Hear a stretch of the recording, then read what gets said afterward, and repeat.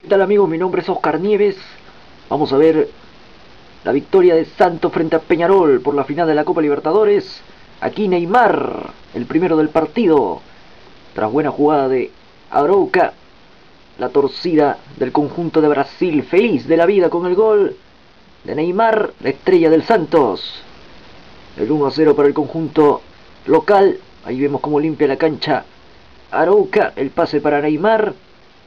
Y de primera nomás, derrota al arquero Sebastián Sosa. Aguirre dando indicaciones por la derecha. Se viene Danilo, hace la diagonal, remata y el gol. Segundo tanto del Santos. El número 22, Danilo. Buen gol, buena colocación del jugador del Santos.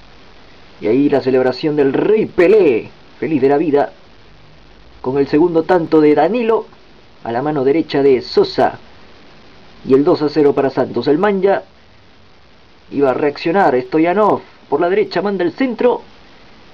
Y autogol de Durval. Reacción eh, del conjunto uruguayo. Aguirre que arengaba para ir por el empate. Vemos la acción, la repetición.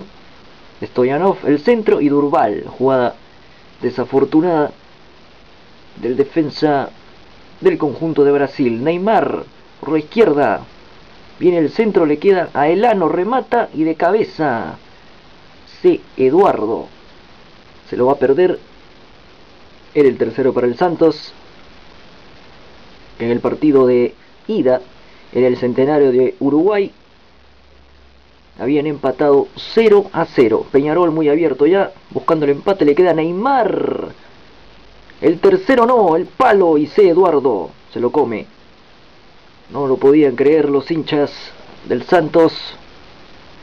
Pesota al final marca el final. Y la final de la Copa Libertadores ya tiene dueño. El Santo de Brasil, campeón. De la mano de Neymar. Y ahí, bueno, las grescas del partido entre los jugadores de Santos y Peñarol. Hubieron eh, puñetes, patadas, en fin. Lamentable realmente que suceda este tipo de acontecimientos en una final de la Copa Libertadores de América. Vemos cómo empieza otra vez la gresca entre los jugadores eh, uruguayos y brasileros. Miren la patada impresionante realmente.